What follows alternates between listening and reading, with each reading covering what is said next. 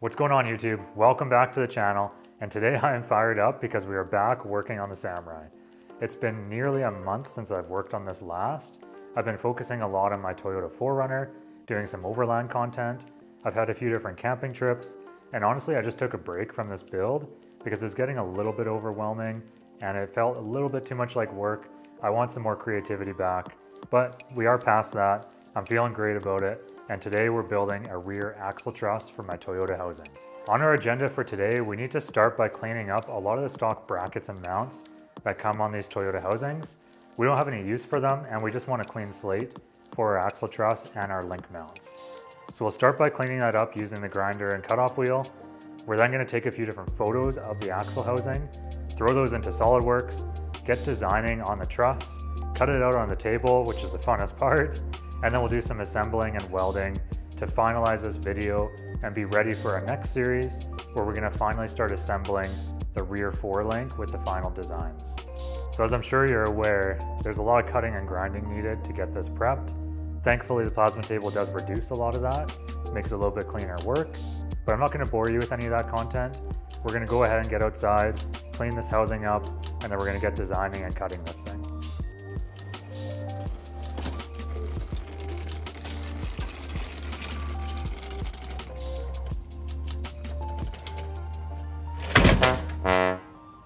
Oopsie.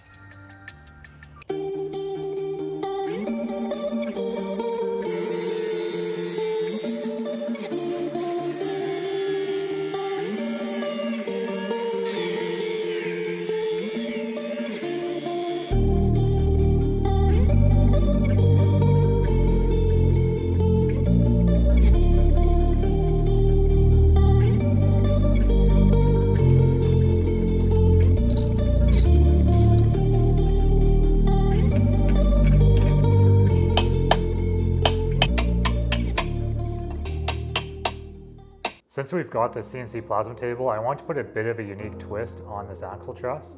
I figured it'd be cool to put in the DNS fabrication name on the truss itself. I've had a little bit of issues cutting fonts before in previous designs, so I've got a piece of quarter inch steel here that I'm gonna use for just doing a, a test run. So I'm gonna pull aside this large quarter inch plate that we're gonna build the axle truss with, and I'm gonna run just a quick design pattern to see how the font looks. If everything looks great and what we expect, we'll load everything up and cut out the proper truss.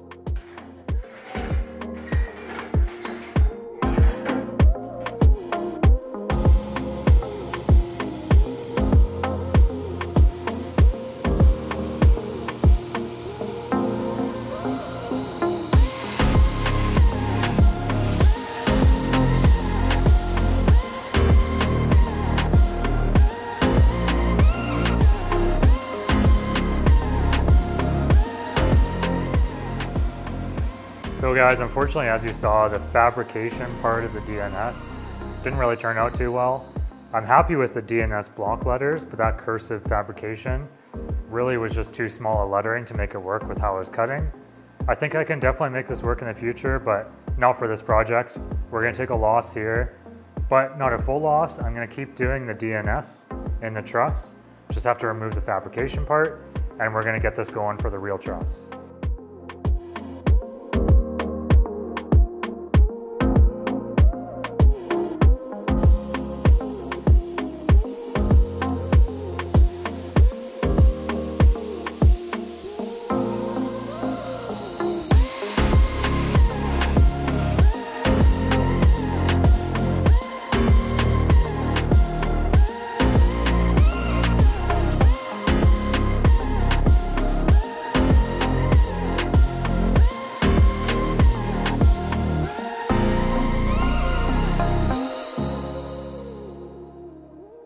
This machine is just proving more and more useful. So this is coming straight off the cut. No post-processing whatsoever. Look at the cleanliness of these cuts. There's a little bit of slag on the back, a little bit of cleanup to do, but this stuff just chips right off. This machine has just saved us so much time. When you finally dial in the proper settings, when you get your proper clean air and you find some tips that work well, for us it's the Hypertherm tips with the Razorweld plasma cutter. It's just one of the best shop tools that you can have, especially for this off-road building that we're doing. Things like trusses and link mounts just get so easy when you can really take it from concept into reality within a couple hours. Well, here we go with the first test fit. Let's see how this, see how it lines up and how our design work pays off. Ooh. I don't even need the magnets. Now, does not look slick.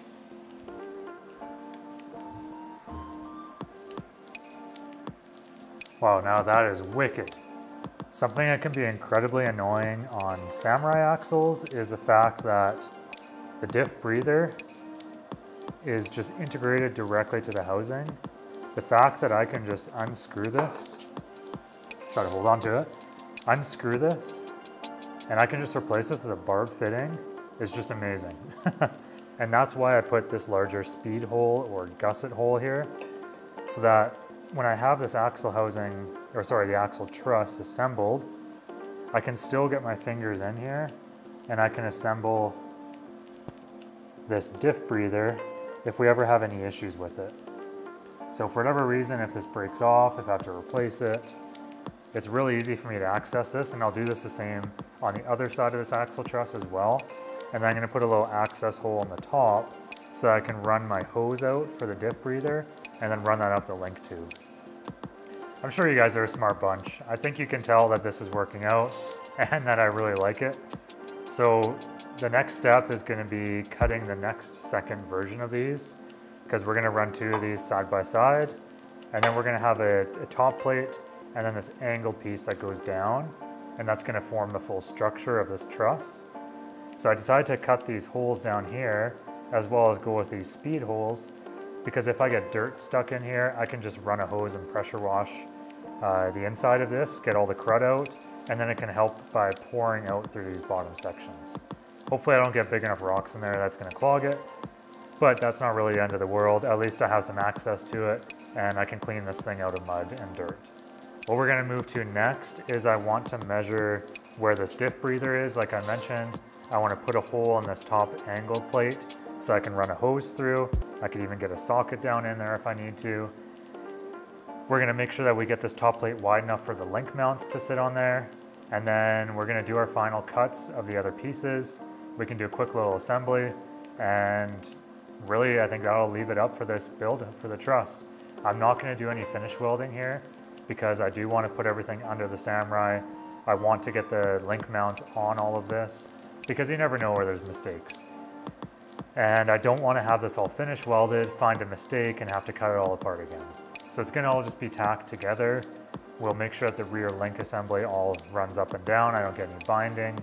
And then we can do a final finish weld of all of our mounts, all of our trusses, and really dial in the back of this suspension.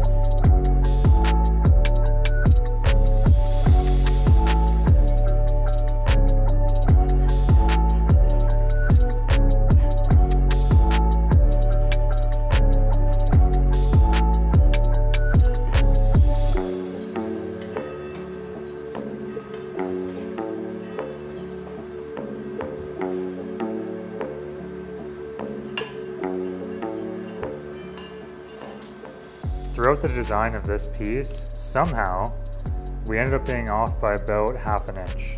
So we're gonna have to do a little bit of filling here on our welds. That's okay, we're gonna, we're gonna make this work. But this is why I cut things in stages when I'm trying to do conceptual design like this. Because now for the second side, what I can do is just lengthen this in my model by half an inch and will fit perfectly without needing to do any makeups in the welding. So this is the section here we ended up being off by half an inch. So like I mentioned, I'm just gonna go in here, we're gonna lengthen this out, and then we're gonna recut this piece for the other side to make sure it's properly dimensioned. Well, I love a good late night work session, but sometimes you definitely end up doing things you don't mean to do. In this situation, I accidentally lengthened the other side of the side plate. So I didn't resolve the issue I had, I just made another part longer than it should have been. So I'm gonna have to cut that off and I'm still gonna have to fill in some gaps with the weld here. So when I say I lengthen the other side, that's this portion here. You can see I extended this past about a half an inch, but that doesn't resolve my issue with the top section being too short. So I can either have this nice and flush down on the axle tube, or I can push this up to be nice and flush at the top, and then fill my welds down on the bottom. Either way, I'm definitely gonna adjust my files for the next truss that I build, because I love this design so far, but these are just two mistakes I've made from working a little bit too late and maybe being a little too tired. Although, with that being said, we're very close to being finished cutting these parts, I just have that last top piece where my mounts will actually go. We're gonna adjust that on the CAD file, make sure it looks good. We just need a six inch long piece, three and a half inches wide. Should be easy enough for me to do without messing up. And we're gonna get that cut. We'll place it on here. I'm gonna call it a night. I'll come back tomorrow, tack all this together, and we'll finish off this truss.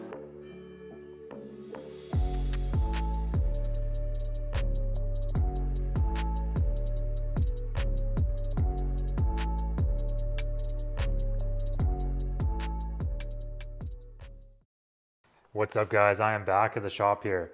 And last night I finished up that truss, I got everything together. It's not welded yet, but all the pieces are cut, we're assembled, things are looking really good for fitment.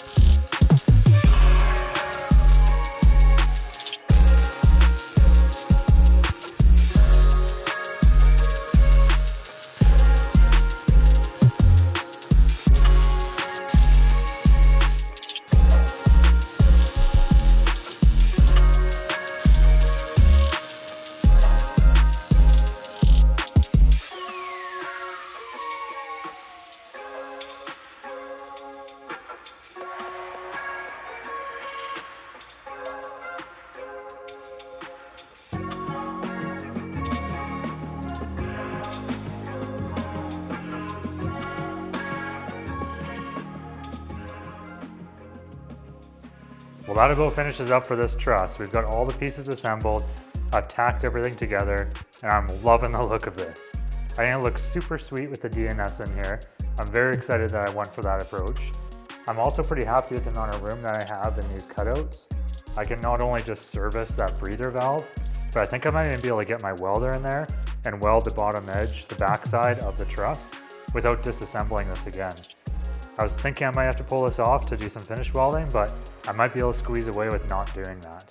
We'll see how it goes. Next up on our list is going to be assembling these rear link mounts onto this truss. In the last video, we finalized some of these mounts for the axle side. So this is just going to sit on the bottom and I just need to finish up designing the top axle side mounts. They'll sit on the top of this truss. If you guys enjoyed this content throughout this video, be sure to check out the rest of the Samurai videos. Also be sure to check out Nigel's content. He's putting a TDI in his Toyota pickup. I'm sure you guys know if you're a loyal subscriber. And if you're not, and you like this content, maybe you should consider subscribing. Maybe liking, maybe commenting.